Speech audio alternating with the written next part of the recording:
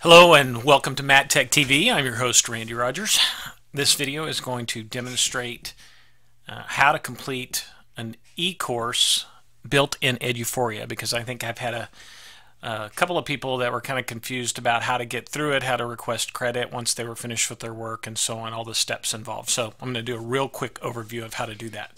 First thing you need to do is sign up for an e-course, and you do that, of course, by logging into Eduphoria, clicking on Workshop, and then if you'll come down here, you'll find a section that says e-courses.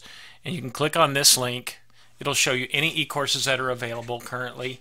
Um, so I'm going to go to this one right here that is communicate better with Remind.com and I'm going to come up here just like I would a regular course, an in-person co course, a traditional type of PD. I'm going to click register. It'll ask me if I'm sure. Yes, I'm sure. And depending on the browser you're using, some of them might not.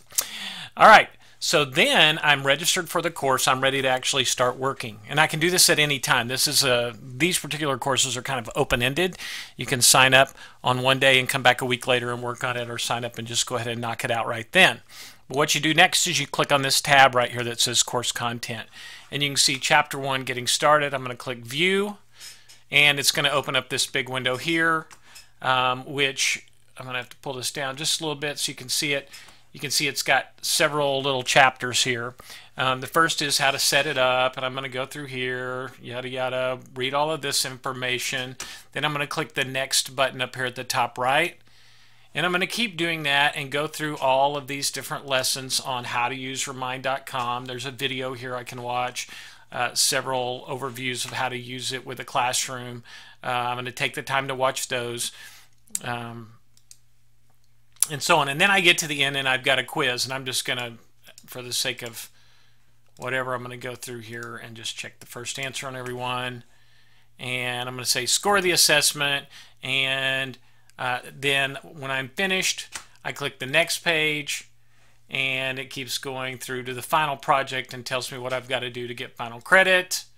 And then when I'm through with that, I can close that window and then I can come up here to this is really important. Got to do this if you want to get credit. So I've gone through, I've walked or watched all the lessons, read all the lessons, I've done the activities, um, I've taken the quiz. This is where we're having a problem sometimes. You need to be sure that you click this button here, request credit. Once I've done that, the course survey comes up. I can complete the course survey and tell how much I loved it or hated it or whatever. I hope you like them. Um, but anyway, that's it.